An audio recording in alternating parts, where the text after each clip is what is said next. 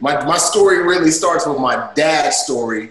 Um, my dad, he was uh, he was the firstborn son to my grandfather. My grandfather had like nine wives, and he kept on having daughters, and that's just the culture because my grandfather was a chief in the Yoruba tribe. So in, in, European and Western culture, we refer to royalty as king, queen, prince, princess, Dutch, that sort of thing. Mm-hmm. But in African culture, especially West African culture, royalty is referred to as your last name and by chief. So because my father was the firstborn son, he just naturally inherited that title of chief. Um, my dad was eight, his father died, and my and, and all the wives scattered with their kids. And my dad went down to the uh, to the south of Nigeria, and like right on the coast in the area of Lagos. And when he got there, there were missionaries, Christian missionaries there. But not only were they teaching the Bible, but they were teaching math, science, literature, you know, English, you know, all of the you know concepts that we learn in, in Western school. And my dad was a savant because you know he grew up Muslim, so he had the Quran memorized, and so he was able to memorize math and science and equations, all of this, so much so that as he grew, he ended up getting a full ride scholarship to study engineering and architecture in London. So he moved to London and he graduated from both with his master's in architecture and engineering and started getting dabbling in business. He was one of the uh, first black men on the board of the World Trade Center in New York City. Um, his one of his good friends is the architect was the architect of the World Trade, the Twin Towers. Wow. Um, and my dad was also the first black man on a financial planning council in Great Britain. So my dad began to like, you know, just blow up, so to speak, and do all these amazing things in the business world. But he had this mindset of going back to Nigeria because in his mind, he hated the concept that the, the, the, notion that Africans are a bunch of uneducated bush people who are stupid and they just throw spears and all of this stuff. And he wanted to change that narrative. So he went back to Nigeria, which is the richest, one of the richest countries in all of Africa, primarily because of their oil, their cocoa, their coal, mm-hmm. natural gas, all of that stuff. And he went back to essentially establish an entire uh, business sector. And there's so much more to the story. I won't. I'll just get straight to the point. But that's kind of where where I came along. He met my mother. My mother's a, grew up in the Bronx and and my mom and my dad. My dad was actually on a business trip in in New York, and he went to the Metropolitan Museum of Natural History, and my mom just happened to be there, look, you know, because there was an exhibit on Yoruba Yoruba uh, arts, and my dad is Yoruba tribe, and they met, and you know, my mom being a New Yorker, my dad's hitting on her. He's telling her, "Yeah, I'm a chief. I'm this." And my mom's like, "Get out of here, man! Like, get out of here with that." You know, my mom's a New Yorker. You know, she grew up in the Bronx. But you know, he ended up swabbing her, and long story short, they got married five months later, and she moved to Africa. So I tell people all the time, my mom and dad story is a real coming to America story. They stole my mom and dad's story. Real. So when she comes to Nigeria, you know, my brother's born. He's a year older than me, and then I was born, and uh, and and I was born into wealth. My dad was a millionaire. Um, he, you know, he he had all of these businesses. We lived on a compound. We had nannies, cars, drivers. We traveled the world to Paris, New York. I mean, we had it all. And uh, my dad, he invested millions of dollars in, in um, the Lagoon Development Project, which is one of the first man-made islands in the world. It exists to this day. Uh, and you familiar with, you know, with hip hop, so I'm sure you know Afro beats. And you know, Afro beats is, is, is massive in Nigeria. Davido, all of those guys, the band, all of those guys.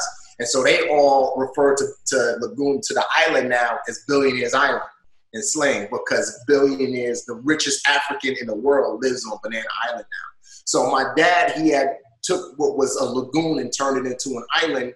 And long story short, the Nigerian government stripped it from him. And he had millions of dollars wrapped up, so much so that my mother would tell my dad all the time, Bayo, I don't trust this government system here because Nigeria's just been historically a corrupt country. And my mom would say, put money back in New Jersey, put money back in New York. So if something happens, we have something to go back to. And my dad would tell my mother, my priority is Africa. My priority is Africa. Once I get the, the, the uh, Lagoon Development Project off the ground and we we're selling plots of land and we have the, the office space all that, then we'll put money in, in the States. But right now, this is my priority. And when the Nigerian government stripped that island, he had so much of his wealth wrapped up in it that he was now on fumes financially. And so he went to go fight the Nigerian government in court, and weeks later he died of a heart attack. And so when he died, there was nobody left to fight. My older half brother, because my dad was married years before he met my mother, he was just out of law school and educated in Great Britain. So he's here in, in Africa trying to learn the system, and they're laughing at him because you know he's an outsider at this point. So you know, long story short, we were left with nothing. And my mother, being a New Yorker, was like, "There's no way I'm raising my kids here in Africa." And that's when she brought us to the Bronx. And I was five. That was 1987. I was five. Wow. Yeah. Wow, yo, that is such an incredible story. Like to start yeah. your life out, that's insane. Yeah, your, your, yeah. your, dad was an engineer, correct? Engineer, yep, he was an engineer. Matt, he has a he had his master's in engineering. Oh my goodness! So to yeah. the you know, and I guess we'll get into it later in the conversation, but the government was that corrupt that they saw his vision for yeah. Laguna Island and just stripped it from him. They they yeah. understood what it was going to become. Yeah, so I'll, I'll, kind of give you some more context. I, I explain it all in my book, but I'll give a little bit more context. So back in the '70s, my dad he bought this plot of land called Maroko, and Maroko was like just think of a landfill. Maroko was a massive landfill in Africa, and my dad bought it because he wanted to he wanted to to create his vision, this, this city in Maroko. However, around the 70s, there was a military coup. The military took over the government and overthrew the president. Around that time, when that happened, the government said, Maroko, nope, you can't have that. They took Maroko from my dad. For like 10 years, especially after the regime was, was the, the, the regime was, was overthrown, my dad fought and fought and fought, and finally, the federal government looked at the case, the, the Nigerian federal government, and they said, you know what? This land was yours. You paid eight million pounds for it. We are. What do you want? We can't. Do you want it back? Do you want your money back? What do you want? And my dad, understanding the Nigerian system, again, Nigeria is, is consistently ranked every year there's a, a, corruption overwatch committee, international, and, and they consistently rank at the top. You know, is that till how do you day? to this day? How do you become a governor and, and, or a, a, politician and you come out a billionaire? how do you become a general in the army and then you come out the army a billionaire? I can send you articles, and I mean, it's, it's Nigerians will tell you. I mean, I'm not saying anything that's not like go to go to Nigeria. There's tons of articles about it. I get messages from Nigerians on, on social media all the time. Remi, please come to Nigeria and get in politics. You will seal you it is. We know that you can help us. The corruption. I get messages every week. I started screenshotting them because I get so many. Wow. So story short, the, my dad being a visionary and recognizing what happened in the past, he said, okay, if I if I create something where there was never something, no government could ever come back to me and say this belonged to us. So when the federal government asked my dad, what do you want? My dad said, give me the lagoon, which give me the swamp, give me water. And they laughed at my dad. They were just like, this fool, what is he gonna do with water? But my dad, being an engineer, he hired he had he hired a dredging uh, company out of Holland, out of the Netherlands, and they came and they dredged the foreshore. And gradually, as they dredged the foreshore, the water began to turn into land because my dad created an island.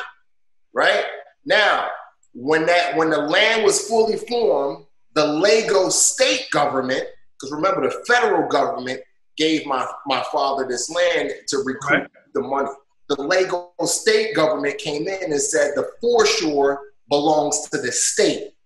It doesn't, it never belonged to the federal government.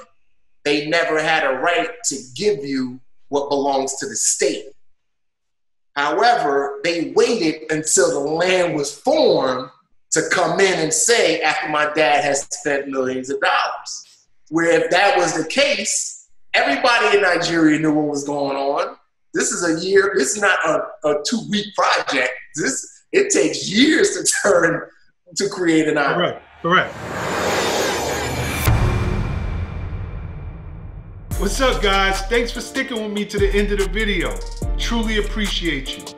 If you like anything you heard here today, go ahead and hit that subscribe button. And if you know anybody that can benefit from this message, feel free to share. Peace and love.